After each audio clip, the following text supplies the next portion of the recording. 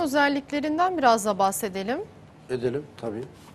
Yulafın da çeşidi türü çok. Yulafla ilgili birçok klinik araştırması yapılmıştır. Yulafın çayı yapılıp içilebilir. Ee, şimdi bu gördüğünüz yulaf. Ee,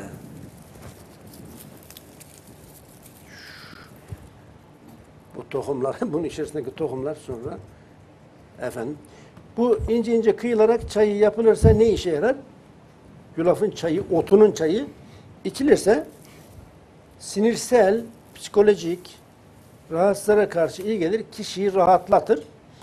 Fakat tabii e, relax, rahatlatıcı olaraktan sinirleri e, güçlendirici, antidepresan etkisi o kadar güçlü değil. Yani sarı kantaron hiçbir zaman tutmaz. Sarı kantaron klinik araştırmalara etkisi yüzde yüz et- ispat edilmiştir. Fakat basit rahatsızlarda yulafta aynı çay yapılarak içilebilir. Yulaf ezmesi özellikle kolesterol, lipid, trigliserit yağları eritici özelliğe sahiptir. Bununla ilgili birçok klinik araştırması var. Mesela bir Profesör Doktor Kirby ve ekibi yapmış oldukları araştırmalarda kolesterolü düşürdüğünü tespit etmişlerdir. Moskova'da yine bununla ilgili klinik araştırmalar yapılmış. Freiburg'da araştırmalar. Birçok araştırma yapılmıştır. Bu yapılan araştırmalarda kolesterol, lipid ve trigliseriti düşürdüğü belgelemiştir. Biz bununla ilgili bir çalışmamız var. Alıç, tabi alıç kadar değil, alıça yakın bir etkiye sahip. Enginar alıç arası yulafın özelliği. Bunun ekstresinden çok güzel bir formül geliştirdik. Kolesterol, lipid, trigliserite karşı Enginar Forte diye.